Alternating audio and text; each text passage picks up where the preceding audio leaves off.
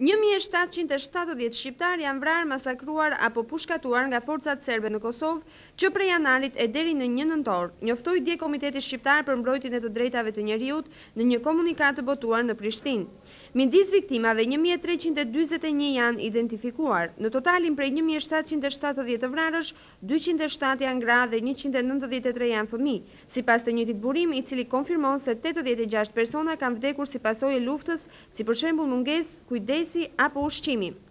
Ndërkaq Agjencia e Kombeve të Bashkuara për Refugjatët thotë se rreth dhjetë mijë nga të zhvendosurit që jetonin nën qiell të hapur janë kthyer në fshatrat ose shtëpitë e tyre apo janë strehuar diku gjetkë në Kosovë.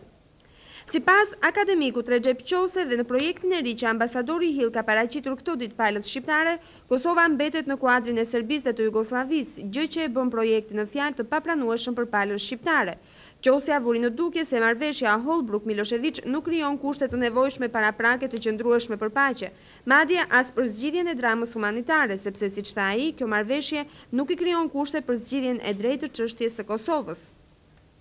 Presidenti i Malit të Zi, Milo Gjukanoviç pas takimeve me Hans van den Bruk ka deklaruar se për një kohë ne nuk kemi pranuar refugjatë nga Kosova për shkak se jemi frikësuar se do të ballafaqoheshim me një valë të madhe refugjatësh, por tani jemi të hapur dhe të gatshëm t'i ndihmojmë të gjithë ata që kanë nevojë dhe që kërkojnë të strehohen në Republikën tonë. Ushtria jugosllave nuk do të tërhiqet nga Kosova, tha të premten shefi i Shtabit të Përgjithshëm Momçilo Perishiç. Ushtria do të vazhdojë të mbrojë integritetin territorial të Jugosllavisë dhe nuk do të tërhiqet në asnjë rast nga ky territor. Është detyra jonë kushtetuese dhe patriotike, tha gjenerali që po bën një turne në Kosovë. Gjenerali Perishiç theksoi se në bazë të marrëveshjeve të përfunduara kohët e fundit mes Beogradit dhe NATO-s, ushtria jugosllave dhe policia serbe janë autorizuar të mbajnë në krahinë respektivisht pesëmbëdhjetë mijë dhe dhjetë mijë veta. Ai tha se cilido qoftë pushteti në Kosovë, ushtria nuk do të kërkojë leje për të lëvizur brenda territorit të krahinës. Një deklaratë e Ministrisë jugosllave të Drejtësisë, e botuar nga një agjenci lokale lajmesh theksonte se konflikti në Kosovë është çështje e brendshme e Jugosllavisë dhe jo një konflikt duke sinjalizuar kështu në mënyrë të qartë